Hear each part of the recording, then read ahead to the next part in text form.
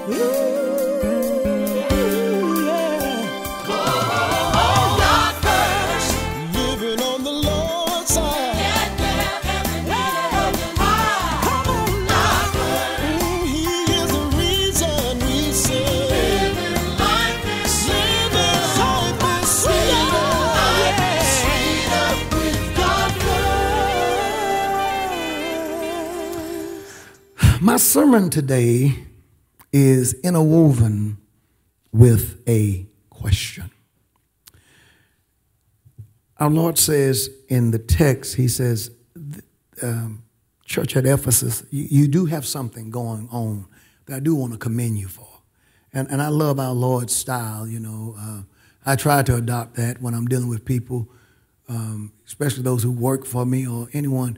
You know, I may point out what's wrong, but I also like to point out what's right. You know, you, you, you ca- carrot and a stick. If I'm going to rebuke you or correct you for something that you didn't get right, I think you ought to acknowledge what a person has done right. Amen. If they give you something to acknowledge. And so uh, the Lord pointed out where the church at Ephesus had went wrong, but he wanted to make sure that he didn't, he didn't leave out any commendation that was that they were deserving, uh, deserving of. And so he says, "This you have that thou hatest the doctrine um, or the deeds of the Nicolaitans." So my, my question today is: Do we hate the deeds of the Nicolaitans? You know, um, would the Lord say uh, this about us? Upper room, I want to praise you for a lot of things you've gotten right. I want to point out the things you've gotten wrong. But one thing I do want to say, you do hate something that I hate, and that is the deeds of the Nicolaitans. And you know, it's always right to hate what God hates and to love what God loves. So you're in trouble when you love what God hates and you hate what God loves. See, I love church. Brother Jackson, we're so glad to have you, man. You're looking good today. Love church because Jesus loves it. Did I call your name right, Jackson? Good to see you. Jesus loves church. Bible says, not forsaking the assemblings of yourselves together. All who love the Lord attend church. Amen. I love the Lord, but I can just have church at home. No, you can't. You can have church at home when your church is not in session. But when your church is in session, you need to be at church. Unless you're sick, you should be at church. Or working, you should be at church. You don't want to be in rebellion. You should be at church. One man got blessed, and David said to the Lord, I love thine house. You should love what God loves. So the question is, do we hate the deeds of the Nicolaitans? I guess before we answer uh, that question, question should be, who are the Nicolaitans? And, and what is the deed? What are the deeds or the doctrines of the Nicolaitans? Who were these people whose behavior uh, both our Lord and the church found repugnant? Amen. A behavior that our Lord and the church found repugnant. We see behavior today that the Bible clearly speaks about where churches are welcoming and affirming that which God calls an abomination. God calls homosexuality in, all, in every form an abomination. You got churches now who say we are tolerant and we're diverse and we just welcome and love everybody and everything. But God calls it an abomination. Amen. And last time I checked, God hadn't changed his mind. It's still an abomination. The Bible hadn't changed. Say amen. So um, the question is, uh, who were these people?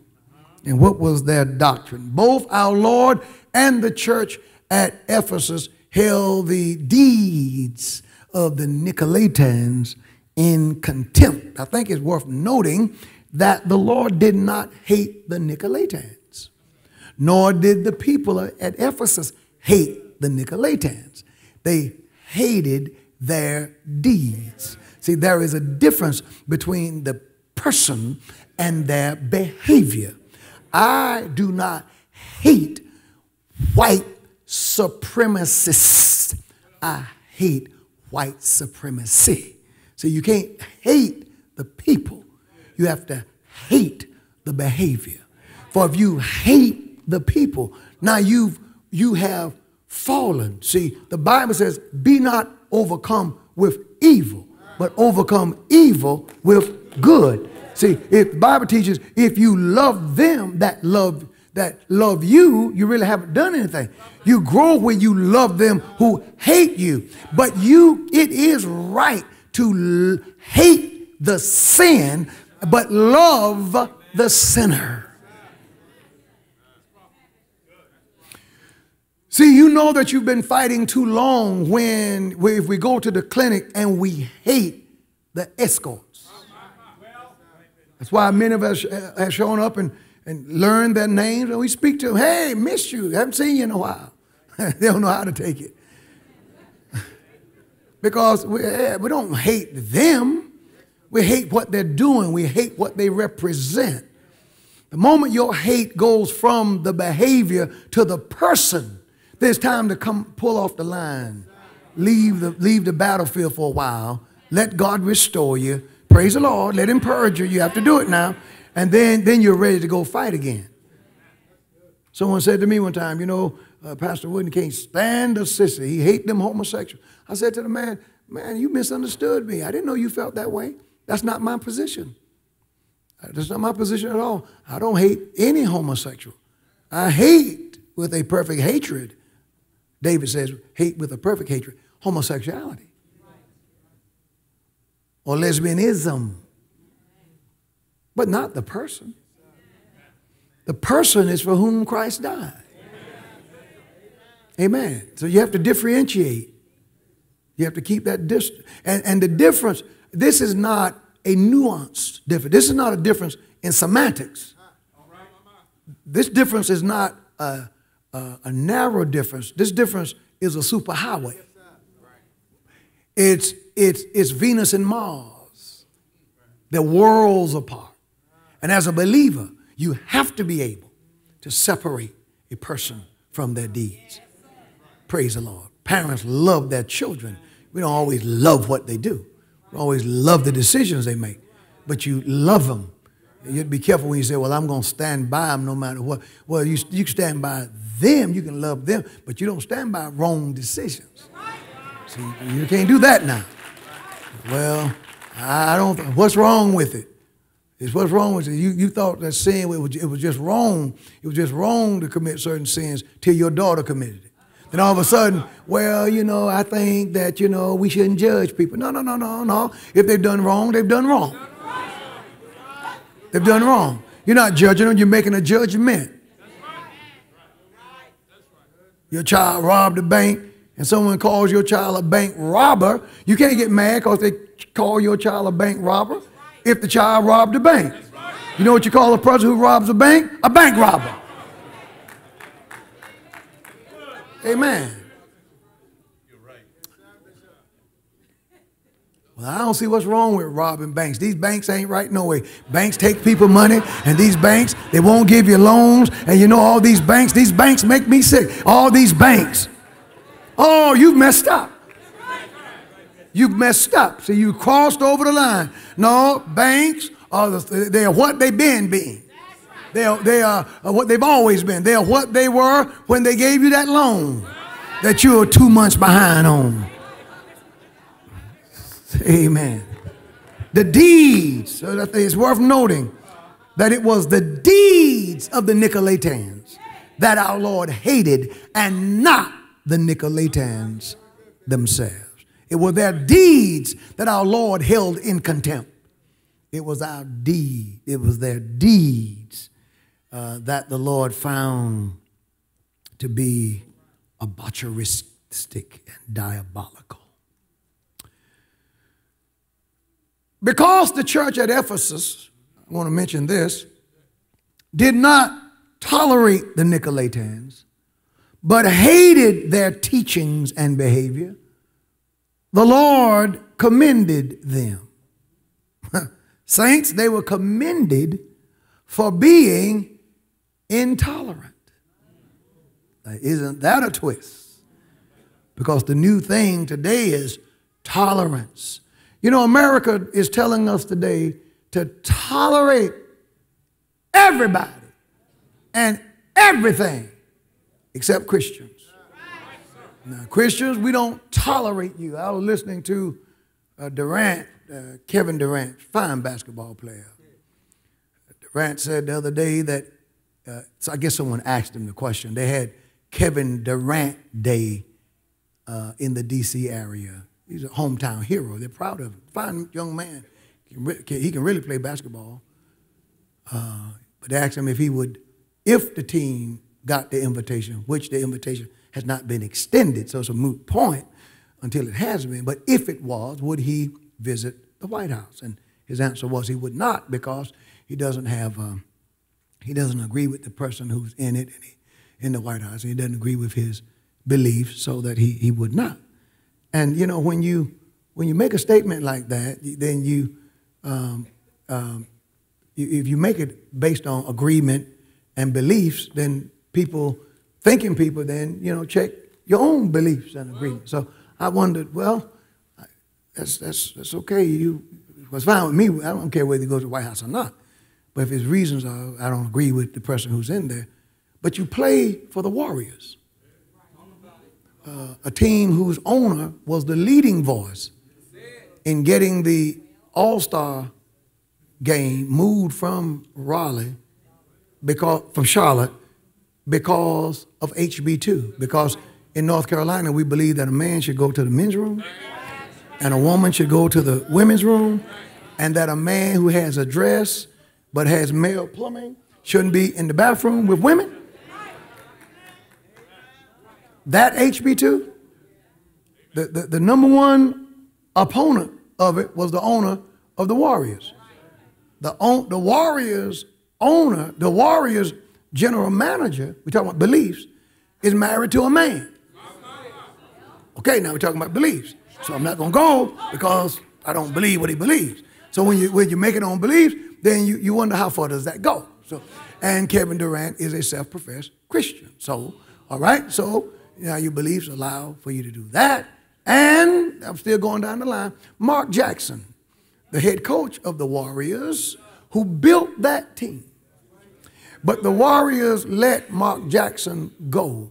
You know what the Warriors' problem with Mark Jackson was? Mark was too Christian. And Mark said, uh, when one of the homosexuals came out, Mark said there would be no place for homosexuality in his locker room. And Mark Jackson, a black man, would not take down. Well, the Warriors fired Mark Jackson. They had a winning record under Mark Jackson. It was Mark Jackson got who got Curry, the, the, uh, Clay. Mark put that team together, and they fired the black guy and hired Steve Kerr. Praise the Lord, and and now it's team. Now it's amazing to me the the, uh, the lack of consistency because if if, if your beliefs won't let you go and visit the White House because you disagree with something that the, uh, the, the, current president have said, uh, then most certainly as a Christian and, and, as a black man, you would think that your beliefs wouldn't let you play for the team. I, am not going to even bring up that, that, that you know, the year before you came, that's the same team that beat you in the playoffs when you were playing for Oklahoma. So I guess your position was if you can't beat them, join them. So you leave Oklahoma and join the team that, that just beat you. So, so you get on a winning team that's already a winning team. Praise the Lord. You, you're 6'11 with a seven foot plus wingspan. So you go join a team that's already a winning team and you win a championship. Bravo. But, but that's some kind, that's a disconnect. Uh, LeBron James said that, you know, he has a problem playing now for Cleveland because Dan Gilbert, you know, gave money to Trump. But you, you supported Hillary, who supports Planned Parenthood. Planned Parenthood kills more blacks every two weeks than the Klan has in its entire history. So, how is it that you can support someone who received the Margaret Sanger Award? Hillary did. And, and, and if, if you know anything about history, one of the Klan's favorite guest speakers to invite to preach for them was Margaret Sanger. They loved her preaching. I, understand, why you're quiet. I, I understand it. Uh, I'm going to preach in just a minute. But but the the, the, the so how is it, uh, uh, uh brother uh, uh, King James, that you you could campaign for a lady who support policies that disproportionately affects your race, that target us. You know, Planned parenthood doesn't put blacks in jail and they get out sooner or later. The Planned Parenthood gets through it, you, you're dead. And all of the babies, all of them are innocent. And uh, more blacks die as a result of Planned Parenthood and abortion than all of the, the, the five leading causes of death combined. Nothing is wiping us out like abortion. So, how is it that we can support that? And, and Margaret Sanger was uh, a big uh, guest speaker for the Klan, but you're upset with President Trump. Now, that you may be upset with any president, that is your right. There's nothing wrong with that. If you don't agree with what a man says, you have a right to um, feel any way you want.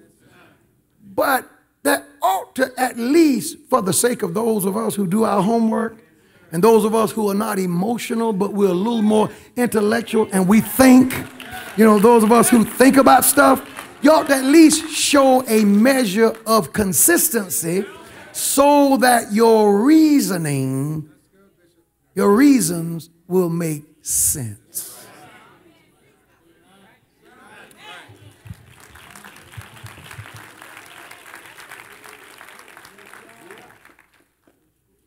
Say amen. amen. So let me get back to this. Amen.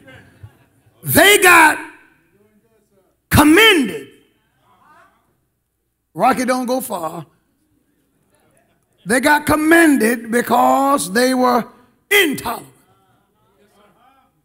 They didn't tolerate the Nicolaitans. The church at Pergamos was a tolerant church. They permitted the Nicolaitans, also called the Balaamites, not Balaamites, but Balaamites, B A uh, L A A M I T E S, as in Balaam, the Balaamites, to operate in their church. Amen. If you look at Revelations 2 and 14, talking to the church at Pergamos, he says, But I have a few things against thee, because thou hast them that hold the doctrine of Balaam, who taught Balak to cast a stumbling block before the children of Israel, to eat things sacrificed unto idols, and to commit fornication. Look at this. So hast thou also them that hold the doctrine of the Nicolaitans, and the Lord happens to mention it again, which thing I hate. So the church at Pergamos was a, a church of diversity, an intolerant church. Praise the Lord. Whatever you, you want to do, it's all right with we Pergamites. Praise the Lord. You can do what you will, and we, we operate uh, like the Balaamites. And our Lord tells us how he really feels about them again. He says, I hate that doctrine. Now let's look at the doctrine. Are you with me? Before we deal with the doctrine, let's deal just a little bit with the founder of uh, the Nicolaitans. Uh, the founder, there's very little known about this heretical sect uh, that operated within the church. The, the, the, the Nicolaitans was alive and well in the early church. So they operated within the church. This was not a church outside of the body of Christ. The Nicolaitans operated within the church. See, that's the problem. Their founder was said to be Nicholas from Antioch, a convert to Judaism. He was one of the first, he was one of the first, he was one of the first seven deacons. Isn't it amazing where division can come from? It is amazing where Satan, how Satan can rear his head. The late great Bishop G. E. Patterson said this. He said, The seed to any movement that is started are planted in it in the day of its conception. The mechanism to die is with us the day that we're born. Can I get a witness? So, so Nicholas, Acts uh, chapter 6, verse 5, mentions these men. Because Because you remember in the sixth chapter of the Acts of the Apostles, there was a problem. Verse 1 says, In those days, when the number of the disciples were multiplied, there arose a murmuring. See? Well, I'm going to leave this church because uh, their, their, their problems and their, their complainings. Well, in the first church, there were murmurings. Anywhere there are people, there are going to be murmurings. And he says, uh, for the Grecian, Grecian here is literally speaking of Jews. Now, we went over this in 8 o'clock class. The, the, the Grecians were not Greeks here, but Jews who were Hellenized. So there was two groups of Jews. They were the Hellenized Jews and the Hebraic Jews. The Hebraic Jews were the Jews who spake the ancient Hebrew language. The Hellenized Jews were Jews who spake Greek. To be Hellenized, Hellenized means to become Greek speaking. Amen. You are learned uh, Greek learning. The, the, the Hellenized Jew was the Jew who was not as dedicated to the law and practices uh, of uh, ancient Judaism like the Hebraic Jews. And so when the church first started, Jews got saved. And there basically were two groups of Jews the Hellenized Jews, called Grecians, and the Hebraic Jews. And uh, they got along and they didn't get along. Their culture was different and they had to work together. And so you got in the early church the Hebraic Jew, the Hellenized Jew, and the Gentile. The Gentile had no uh, Judaism in their past at all. So you have all these diverse groups. See, the Lord's been putting people together for a long time. Under the same banner, and a problem broke out. In those days, when the numbers of the disciples were multiplied, there arose a complaining. There arose complaining. King James says, a murmuring of the Grecians against the Hebrews. That is, the Hellenized Jews were accusing the Hebraic Jews of something because their widows, the Hellenized Jews whose husbands were dead, were neglected in the daily administration. That is, as the Hebraic Jews were passing out the food the complaint was that the uh, Hellenized Jews were not, uh, these widows were not being fed right. So, to solve the problem, the apostle says to them, first of all, it's not good for me to have to leave the word of God and serve tables. I'm no waiter, Peter said. So we're going to choose out seven men.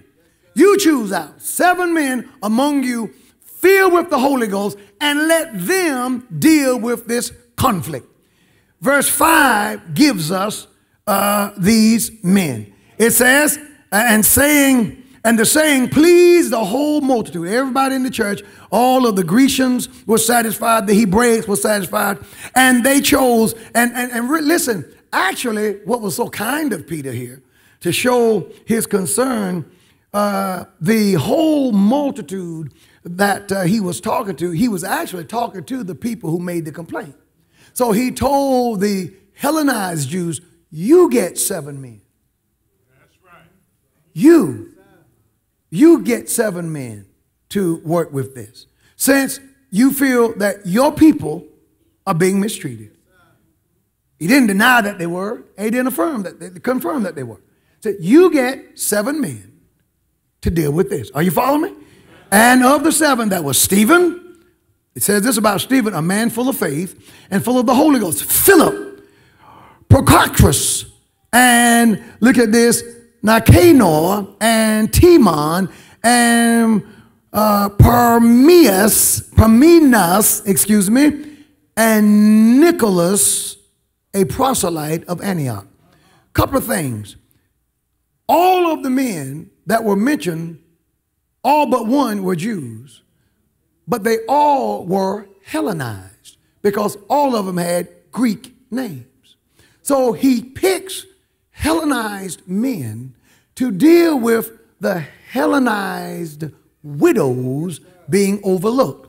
But an interesting footnote is that Mark, uh, uh, that, that Luke, the writer, adds is that one of the men, Nicholas, was not a Hebraic Jew. He was not a Hellenized Jew. He was not a Jew at all. He was a Gentile. Hence, that he was called a proselyte from Antioch. A proselyte is a Gentile who has accepted Judaism and he is learning, he is letting go of his Gentile culture and he's taking on the teachings and the ways of Judaism. In Christianity, you're not required to be a proselyte. In Christianity, we don't make proselytes, we make disciples. But in Judaism, you had to become a proselyte. Thank you for watching God First with Bishop Patrick L. Wooden Sr. and the Upper Room Church of God in Christ. To experience this message in its entirety, call 877 463 3477 to purchase a DVD or CD. God First will return next week at the same time. Until then, make every day a God First day.